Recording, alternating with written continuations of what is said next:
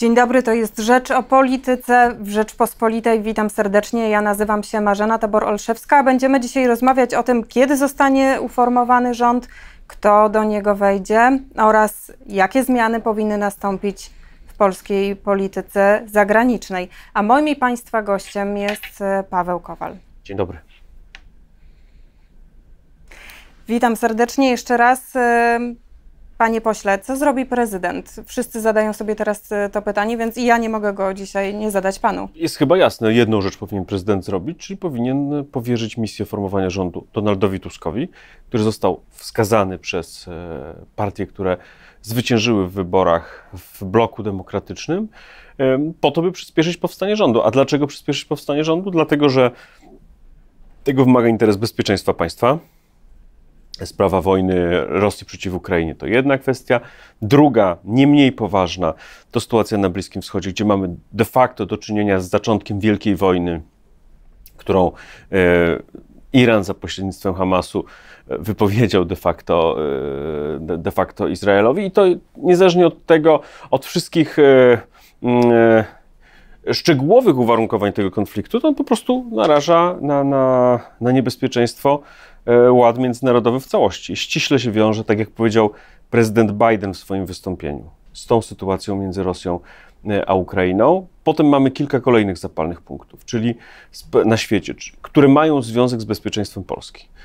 Inna sprawa to środki z KPO, one są też ściśle powiązane z powstaniem nowego rządu i z uformowaniem się nowej większości sejmowej.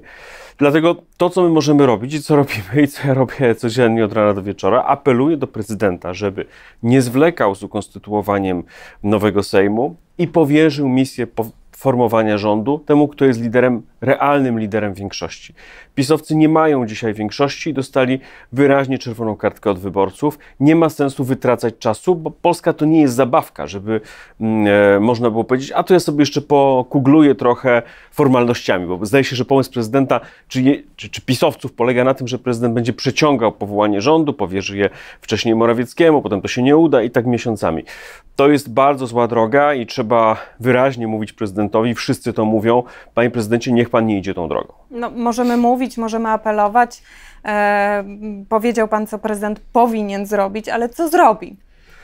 Co zrobi? Nie wiem, bo to dotyczy, wie pani, to dotyczy przyszłości, a Jasne. przyszłość to jest ta część osi czasu, której nie znamy, więc ja nie wiem, co zrobi. E, dochodzą sygnały, także prywatnie, e, gdzieś tam różnymi kanałami, że prezydent zaczął myśleć, czyli zaczął kombinować, że jednak gra na czas nie jest dobra dla Polski, to może spowodować, że on będzie jak Kiszczak, no, że będzie jak Jaruzelski Kiszczak. Pamiętajmy, że bardzo analogiczna sytuacja, bardzo podobna była w 1989 roku, kiedy 4 czerwca było jasne, że mimo kontraktu przy okrągłym stole, mimo wszystkiego, ludzie wskazali na siły solidarnościowe.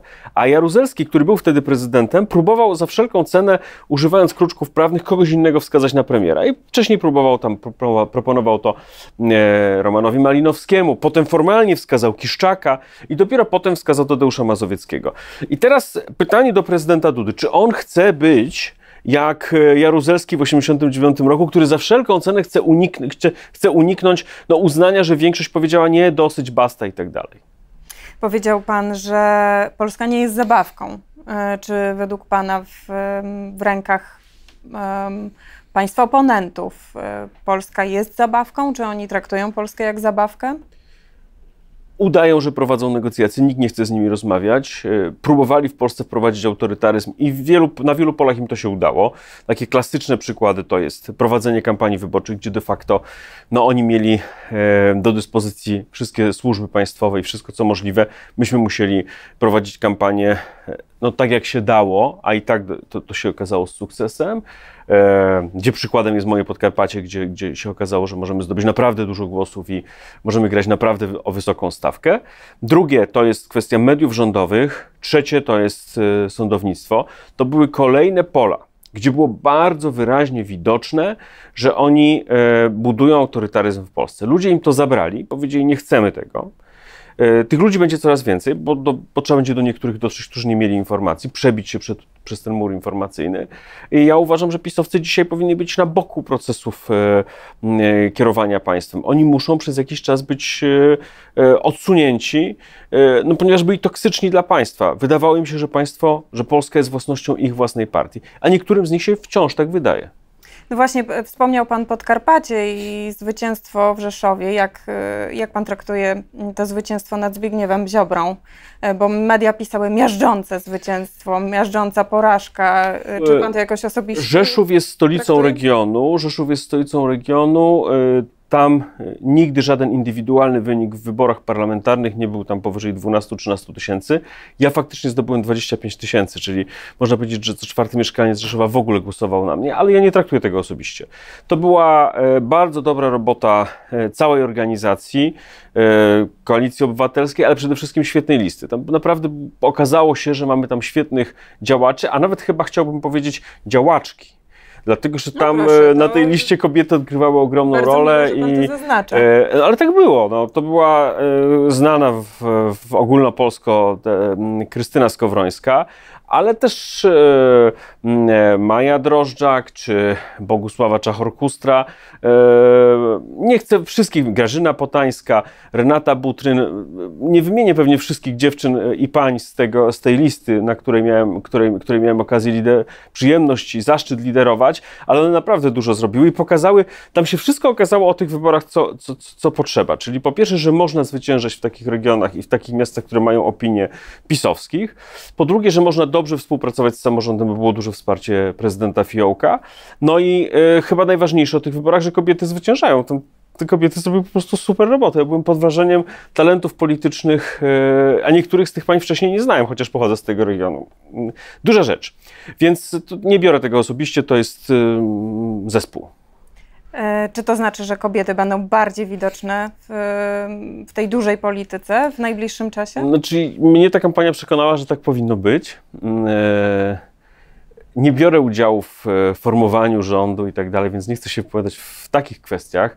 E, mam nadzieję, że tak będzie, ale już w tej kampanii się zaznaczyło. Znaczy, bez wątpienia kobiety były napędem tej kampanii i napędem zmiany. I, i, i tego już nikt nie cofnie w polskiej polityce. No i Bogu dzięki. Myślę, że to najwyższa pora i najwyższy czas. E, panie pośle, mm, co będzie trzeba posprzątać e, w sprawach polityki zagranicznej po e, tych ośmiu latach rządów PiS?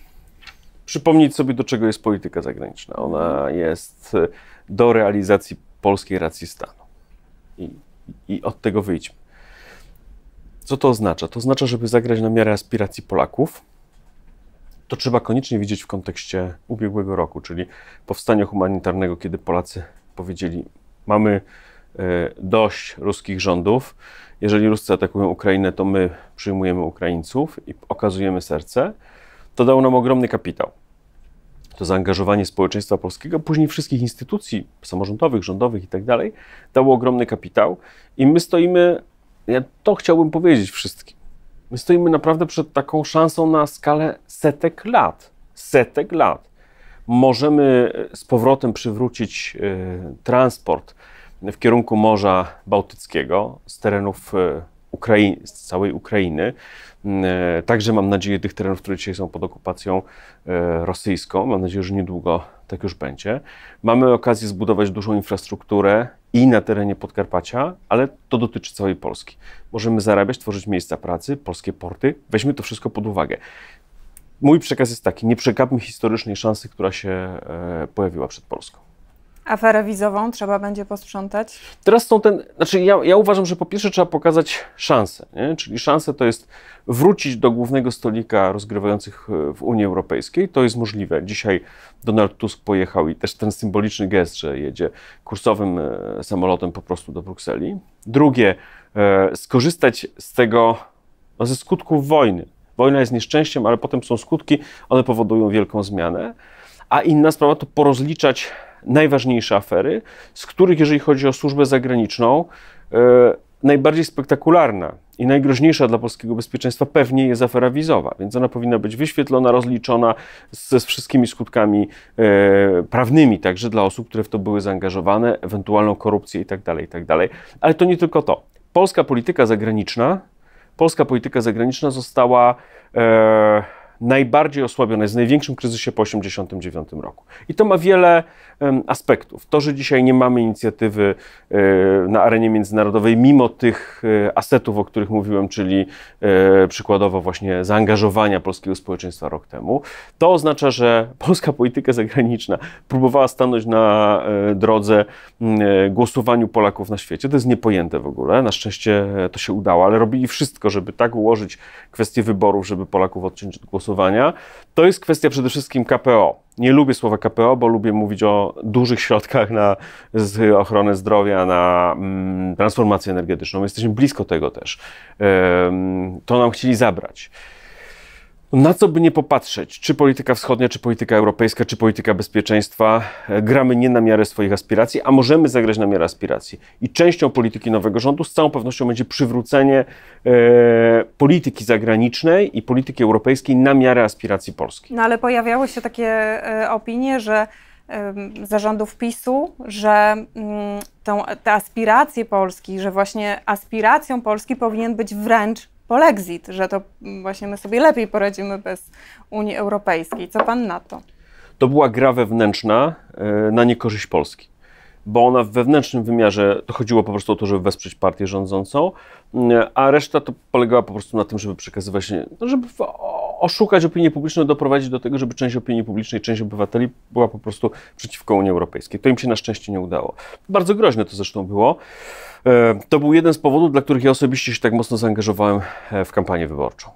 Żeby, żeby to przeciąć po prostu. Bo najważniejsze było przeciąć ten y, ciąg do odrąbania Polski od tego głównego nurtu europejskiego, w którym znaleźliśmy się. Nie było takie proste, przecież to była kwestia walki pokoleń, to była kwestia potem budowania 30 lat niepodległości naszej pozycji, i nagle oni zaczęli sobie tym pogrywać. Nie byli w stanie zagrać na miarę wielkości Polski. A ja myślę, że to jest teraz taki czas, kiedy trzeba dużo mówić o możliwościach Polski, aspiracjach i o tym, że to się da realnie przy, przełożyć na jakieś działania. E, panie pośle, kto będzie premierem, w, jeżeli prezydent zdecyduje się w końcu przekazać misję tworzenia rządu demokratycznej opozycji? Premierem, premierem będzie Donald Tusk, on jest liderem większości, to tutaj nie, nie, nie ma co do tego żadnych dyskusji. Pytanie, kiedy to będzie, to zależy od prezydenta. I od prezydenta w związku z tym zależy właśnie też ta gra Polski na miarę aspiracji, jeśli chodzi o bezpieczeństwo, gra, jeżeli chodzi o otrzymanie środków e, z tak zwanego KPO, czyli tych środków, które są tak konieczne. E, często daję ten przykład, ale celowo go daję, żeby pokazać, że pisowcy tak zaniedbali pewne rzeczy, że na przykład, na przykład Glapiński, który jest szefem Narodowego Banku Polskiego i jest de facto e, człowiekiem PiSu przecież, on się śmiał z tych pieniędzy z KPO, a ja jednocześnie jeździłem w kampanii e, i widziałem, że w tak dużym mieście jak Tarnobrzeg nie ma oddziału wewnętrznego w szpitalu, a w związku z tym nie ma SOR-u, że ludzie na poziomie takiego elementarnego bezpieczeństwa zdrowotnego yy, no, mają powody się obawiać, nie, nie, nie są zaopiekowani. I już nie miałem wtedy wątpliwości, że, yy, że oni przegrają te wybory, dlatego że tak duży był rozdźwięk między tą ich butą, którą prezentował e, na przykład Glapiński, a tym, co się realnie stało. Myślę, że jest czas na nowe otwarcie i na, na, na, na, pokazanie Polakom, że Polska jest dla wszystkich. Uczenie konstytucji od, od szkoły podstawowej, tak jak jest w Ameryce, e, pokazanie piękna naszej kultury jako czegoś uniwersalnego, które łączy wszystkich Polaków. Na tym będzie polegała ta zmiana. To też będą te elementy, które moim zdaniem silnie się zaznaczą w tym rządzie, który powstanie. To muszę o to zapytać, czy to według Pana w ogóle jest możliwe, żebyśmy jeszcze kiedykolwiek byli w jakiejś sytuacji razem, jako jedna, jeden, no niepodzieleni, niespolaryzowani, bo ten podział wydaje się teraz e, tak mocny, tak ostry. Mm, po kolejnych wyborach znowu jesteśmy na pół, znowu nawet na mapie Polski widać po prostu. Nie, bez przesady. Moje doświadczenie z kampanii wyborczej i po kampanii jest takie. Jedna sprawa to są pisowscy politycy, którzy chcieli ukraść Polskę. Druga sprawa to są wyborcy. Ja do wyborców miałem zupełnie inny stosunek. Znaczy, dyskutowałem, przekonywałem, serdecznie się witałem, żegnałem. Czułem, że e, nie zawsze ich przekonam, ale że oni muszą mieć pewność, e, że jeżeli ja zostanę wybrany, to będę też w jakimś sensie ich reprezentował. że oni nie będą odrzuceni, że nie powtórzy się ta sama sytuacja w drugą stronę. Więc my musimy być bardzo otwarci i uważni na potrzeby tych wyborców, którzy zagłosowali na Prawo i Sprawiedliwość. To była duża grupa wyborców wciąż, ale nie mam w sobie ani krzty, e, ani krzty pretensji do nich. Widziałem, jakim są otoczeni przez pisowców murem informacyjnym. Widziałem, jak z trudem się dowiadują od innych ludzi, na przykład o aferze wizowej, która była kluczowa w ostatniej fazie kampanii. Więc do nich nie miejmy pretensji. Po prostu stwórzmy wspólny system wartości. Wczoraj o tym rozmawiałem mm, z Andą Rottenberg, że e, właśnie to uczenie konstytucji, wspólne rytuały, świeckie rytuały, których brakuje nam w Polsce, związane z patriotyzmem, e, praca, jeżeli chodzi o, e, o to, żeby wszyscy mieli podobny kod kulturowy, żeby znali podstawowe zabytki w Polsce, żeby przywrócić takie normalne wychowanie patriotyczne, e, budujące wspólnotę. Nie przeciwko komuś, tylko budujące wspólnotę. To są takie elementy, no, którymi na pewno w takiej czy innej formie ja się będę zajmował. Chciałbym po tym doświadczeniu kampanii to pociągnąć. Czyli ta budowa jedności nie jako hasło, bo jako hasło to łatwo powiedzieć, tylko złożona z e, pewnych konkretnych działań już na etapie edukacji. Edukacja, e, budowanie jedności, e, no ale pan ma przecież wszelki background, tak bym powiedziała, żeby podjąć się istotnej roli w Ministerstwie Spraw Zagranicznych. Czy pan o tym myśli? Ma pan takie mam, propozycje? Czy pan by się tego podjął? Mam tylko jedną frazę w tej sprawie, którą zawsze mówię. Znaczy, nikt mnie nie prześcignie w, w tym czasie w milczeniu na temat tego, co będzie później. To jest zawsze autorska, w dużym stopniu autorska rola premiera, a jeżeli rząd jest koalicyjny, to proces wygląda w taki sposób, że pierwszy ustala się, jakie partie, którymi elementami będą się zajmowały, potem się szuka do tego odpowiednich osób. E, ten proces musi trwać długo czasami, ponieważ jest dużo ustaleń. Też naszą rolą będzie wyjaśnić, dlaczego ten proces nie trwa trzy dni, bo prezydent pewnie będzie jeszcze przeszkadzał. Jeszcze pewnie będzie dużo gadania ze strony pisowców, że e, ten proces będzie nazywany pewnie zamieszaniem. Więc jeżeli mam jakąś rolę, to tylko wyjaśniać ten proces, jak on przebiega, natomiast nie, na pewno nie, nie brać udziału w jakichś e, loteriach personalnych. No ale wszyscy o te, teraz o to pytają. Pojawiają się różne nazwiska. Czy... E, tak jak powiedziałem, nie, nie, nie jestem w stanie. E, po prostu wiem, co, co pomaga, a co szkodzi. Dzisiaj e, pomaga w sprawach personalnych milczenie. W sprawach programowych trzeba dużo mówić o tym, czego chcemy i nacieszyć się tym zwycięstwem.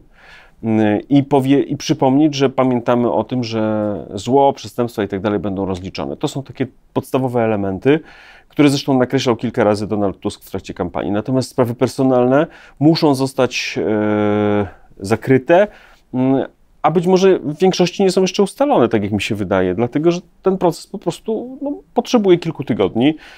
On się zakończy, wszyscy będą wszystko wiedzieć. Ważne jest, żeby wiedzieć, co się chce zrobić, a kto dokładnie to zrobi, z jakiej pozycji kto będzie działał. Mm, no, dojrzałość nakazuje raczej w tej sprawie trochę, e, a nawet dużo powściągliwości. Cóż, dziękuję bardzo. dziękuję bardzo. Moim i Państwa gościem był e, Paweł Kowal. To była Rzecz dziękuję. o Polityce. Marzena Tabor-Olszewska. Dziękuję serdecznie.